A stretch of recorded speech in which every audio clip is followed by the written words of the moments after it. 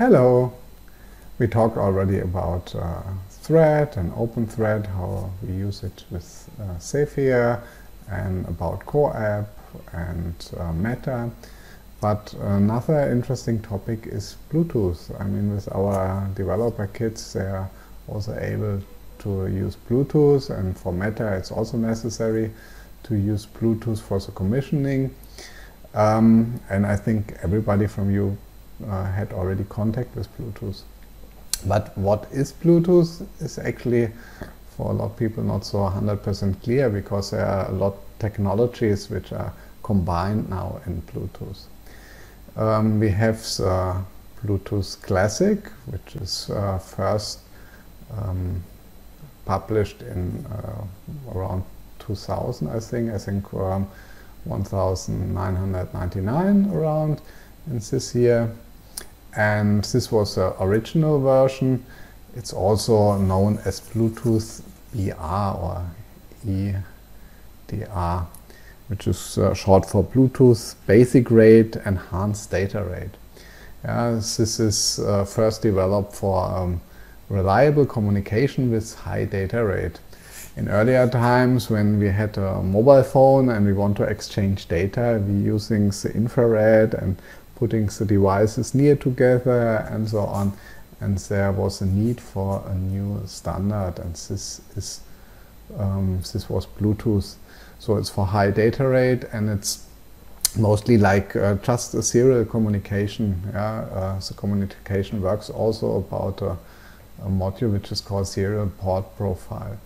Um, it has 79 channels with a frequency wide, uh, width of 1 megahertz.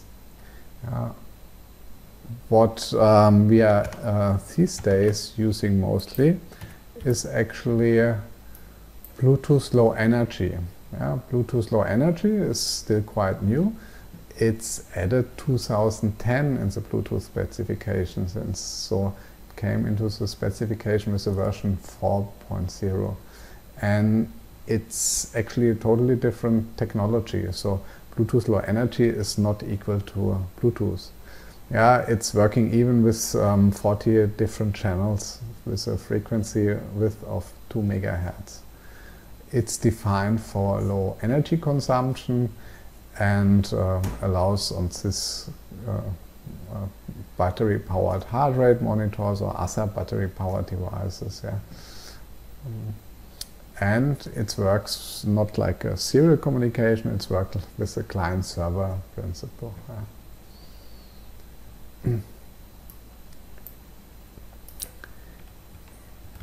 Here we're seeing the stack overview uh, from both. Um, we cannot really compare it with the OSI reference model because the layers are not 100% fitting. Um, so uh, we have here Bluetooth Classic, um, and we have here a controller layer and a host layer in both. Yeah? The controller layer are quite similar. Yeah? We have the physical layer and the link layer. And we have here uh, interface connection, host controller interface, and then the host part from both stacks. Yeah? And we're seeing here the serial port profile from the Bluetooth Classic. And here we're having a few more modules. Yeah, I will come to this in details because this is for us not so interesting. It's just a serial communication um, for high data rate and so on. This is a more common one and our Nordic devices also support this. But then to understand how GAP, GATT and ATT is working, this is um, fundamental to be able to employ your um, to implement your own application. I mentioned before that we're having two layers or in both in Bluetooth Classic and in Bluetooth Low Energy, which is the controller and the host part.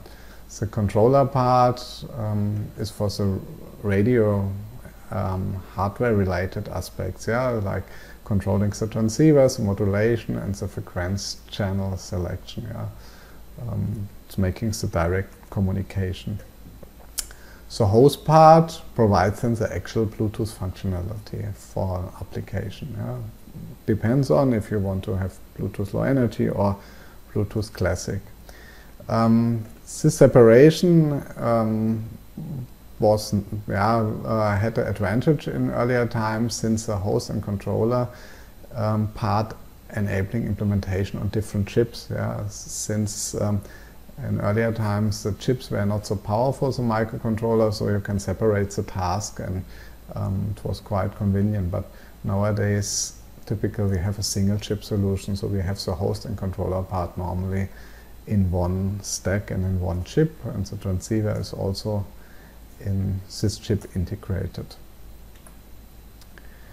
But now let's take a closer look in the GATT.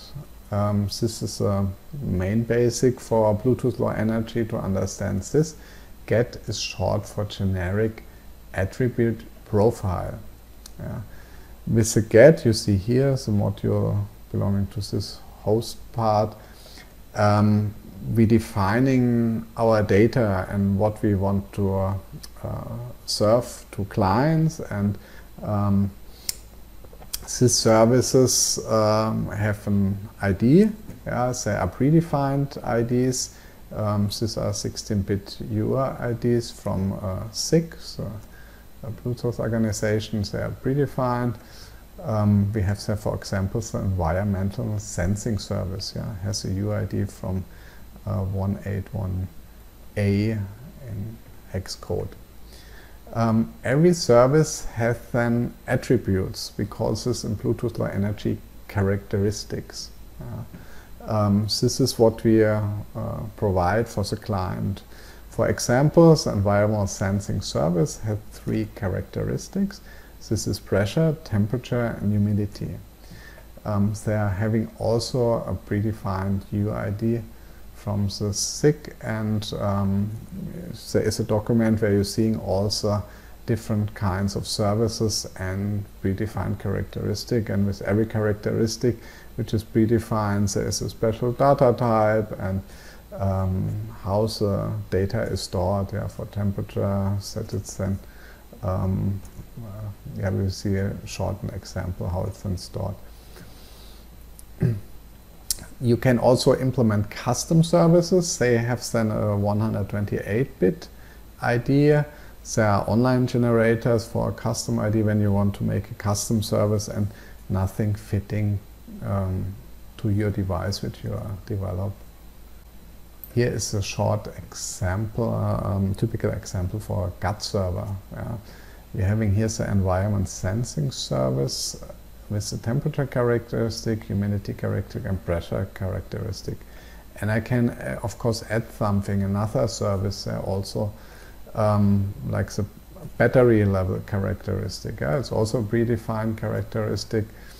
And um, you're seeing here, um, I uh, using um, NRF tool from Nordic to read out this value with a stick and an application. You can read it out also with your mobile phone.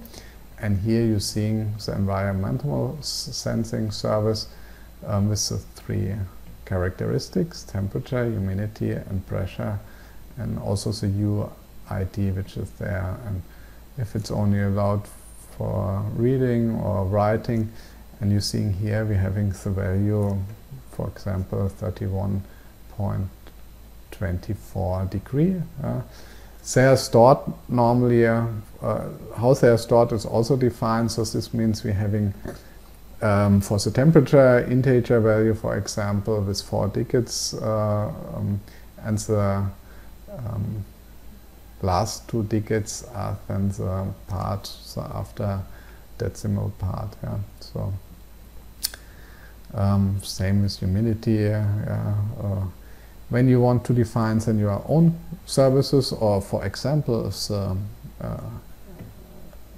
precision here is not enough for you yeah so you need uh, more um, um, resolution here then you can define your own characteristic and implement it with more resolution for example. The next step is then um, the module ATT ATT is short for attribute protocol and this enables uh, exchange from these attributes. Yeah? Um, attribute is then a composition of four components, uh, UID, um, attribute reference, the attribute rights, and then the attribute values. Uh, and this is then for exchanging the uh, characteristic defined uh, in the GATT server. The next part what we're having is uh, GAP, is a generic access profile, which is here on the top. This is responsible for the connection uh, and the, the, setup and the type. And we're having here two different kinds of connection, a connection-less and a connection-oriented data exchange. Um, the more uh, common one is a connection orientated, but uh, also the connectionless is sometimes used. So connectionless exchange, um, for example, when you only want to send peri periodical data yeah, um, via broadcast, it's called advertising. Since the GATT server acting as a broadcaster. For example, I want to inform someone about the air quality and uh, I don't want to make it um, exclusive for one device. I want to give it to a lot, yeah, then the client acting as observer. It's not guaranteed that the device getting the message, but when it's in range, it, the broadcaster, like for every minute, getting new or sending new values, and the client acting as um, observer. Yeah, this is suitable for suitable for applications where data needs to be regularly updated and low latency is not so critical. The more common one, uh, which is more often used and uh, for sure you also use it already, it's a connection orientated exchange. There's a GATT server acting as a peripheral the names are a little bit confusing since peripheral uh, sounds a little bit like it's not so important device and it's not like a server. Yeah, we would think a central would be the server, but uh, be careful. Yeah, uh, the GATT server is the peripheral. This is, for example, um, when I'm having a heart rate sensor, it's a GATT server which offers the um, heart rate. Yeah. But my client is the central, and it can be, for example, a mobile phone. Yeah, so um, the central connecting to the peripheral. Uh, so initially, uh, it works also with advertisement. So um, the uh, peripheral uh, advertise its service which it's offer, and when the central is interested, it establish a connection to the peripheral uh, and sending a connection request to it. Yeah? And then afterwards, then there is no advertising anymore, so it's an exclusive connection from the peripheral to the central. Yeah, altogether, of course, um, it's not exclusive. This means a central can also be a peripheral. I, my mobile phone can work as peripheral for another device, for example. Yeah. Then we're having two uh, other modules which we skipped at the beginning. There's a module SMP. I don't want to go much into details. It's managed the security. Um, so it's also short for security manager protocol, that it's encrypted and so on.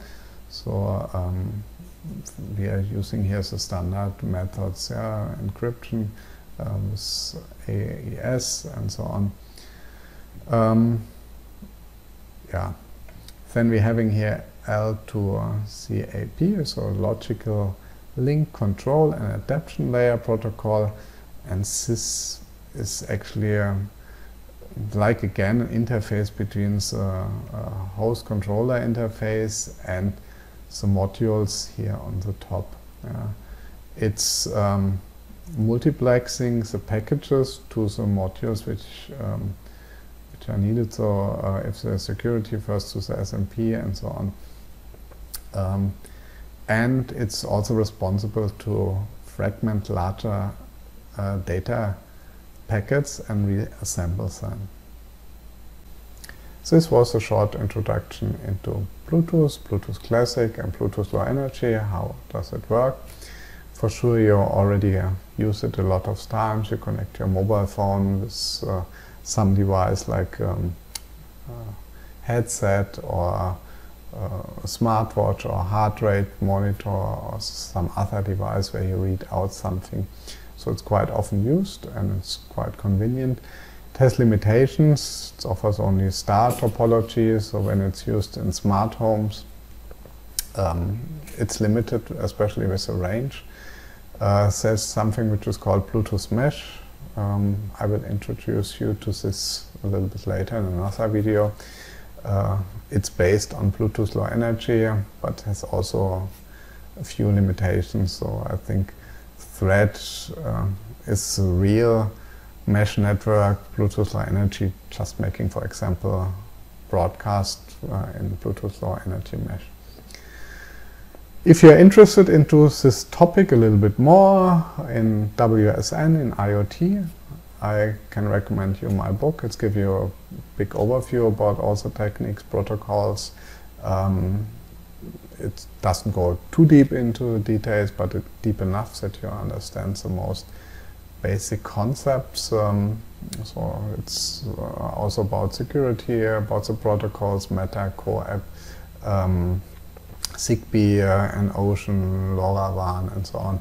Also about sensors, measurement chain, uh, what can happen there in the measurement chain, how to convert signals from analog to digital, what kind of interfaces you can use to communicate with sensors, and also um, how you can make data acquisition and so on. So it's just new out now also in English. I provide the link into the description. I hope you like it and also support me buying the book, of course. Um, in the next video, I will make then a practical example with Bluetooth Low Energy and the NRF Connect SDK. Um, so, see you in the next video.